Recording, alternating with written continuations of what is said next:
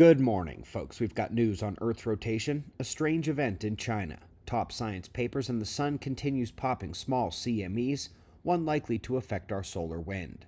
Let's begin at spaceweathernews.com, and we find the last 24 hours on our star with numerous flinches, and then, towards the end, an eruption from a small filament housed within the southern active region.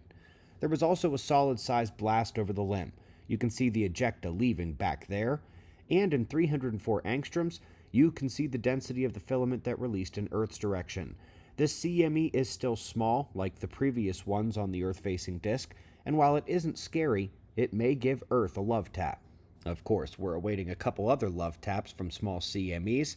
Those should be arriving here tonight and into the following days.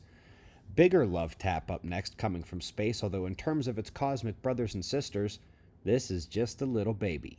They have detected the shortest gamma burst from what they think is the death of a star, and it is shaking up a bit their thoughts on how these processes work and how many mergers versus stellar deaths they're actually seeing with the gamma burst catalog.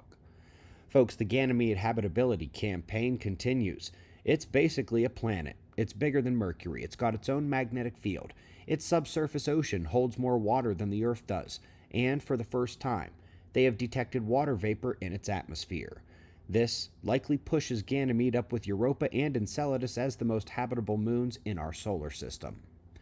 Up next, talk about something that should have a catch and release rule, or a catch and destroy rule. 33 15,000 year old viruses unlocked from a Tibetan glacier, 28 of them definitely new and not present in our world today. They want to bring them back for study. What could go wrong? Up next, we are heading out to the galactic center, the nucleus of our Milky Way.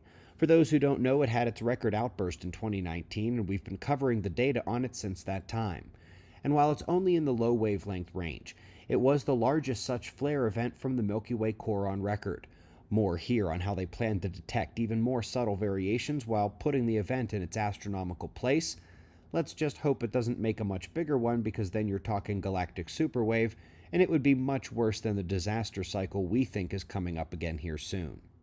Folks, we are back to the data dance for Earth's rotation speed. They keep bouncing back and forth from, we predict the fastest day of the year will be in October, to, no, we had our fastest day earlier in July. Now we're back to October with a prediction and a nudge quicker. Are they going for four data wipes in a year? We'll see that unfold this week. Lastly, on the event log, Folks, the Chinese UFO media is going nuts over these lights that accompanied the record flooding they just had. But observers, if there's one group out there who should know what these lights really are, it's this one. Those are unquestionably auroral signatures.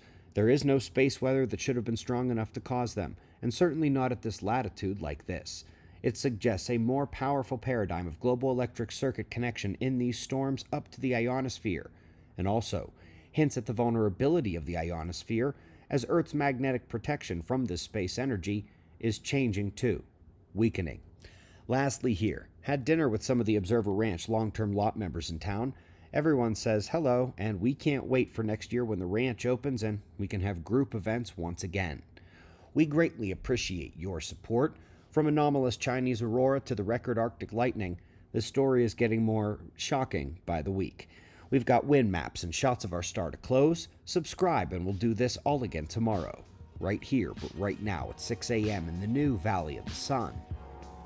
Eyes open, no fear. Be safe, everyone.